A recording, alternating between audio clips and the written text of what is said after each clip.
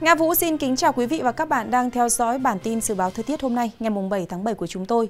Theo Trung tâm Dự báo Khí tượng Thủy văn Quốc gia, từ ngày 7 đến ngày 12 tháng 7, khu vực miền Bắc và Trung Bộ gia tăng nắng nóng, nhưng khả năng vẫn xuất hiện mưa rông rải rác tập trung ở Tây Bắc Bộ.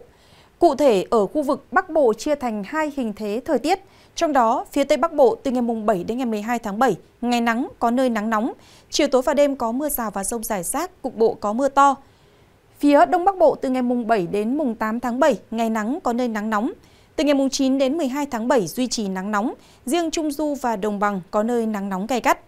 Những ngày này khu vực có thể mưa rào và rông vài nơi vào chiều tối và đêm. Đối với khu vực Trung Bộ, ngày mùng 7 tháng 7 trời nắng, có nơi nắng nóng, chiều tối và đêm có mưa rào và rông vài nơi.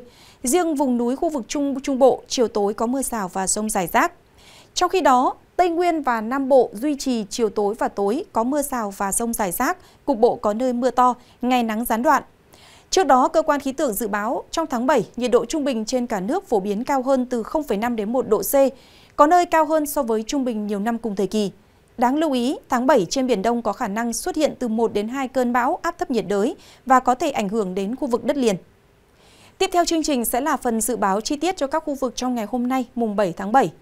Thủ đô Hà Nội có mây, ngày nắng, tăng nhiệt, chiều tối và đêm có lúc có mưa rào và rông, nhiệt độ từ 27 đến 35 độ.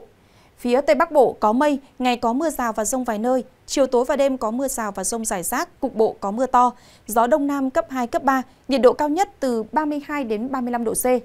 Phía Đông Bắc Bộ có mây, ngày nắng, chiều tối và đêm có mưa rào và rông vài nơi. Trong mưa rông có khả năng xảy ra lốc xét, mưa đá và gió giật mạnh, nhiệt độ từ 32 đến 35 độ C.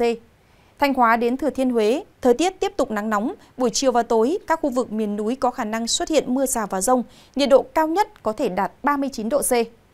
Đà Nẵng đến Bình Thuận có mây, ngày nắng, có nơi nắng nóng, chiều tối và đêm có mưa rào và rông vài nơi. Riêng phía Bắc chiều tối và tối có mưa rào và rông rải rác, cục bộ có mưa to. Nhiệt độ cao nhất từ 32 đến 35 độ C, có nơi trên 35 độ C.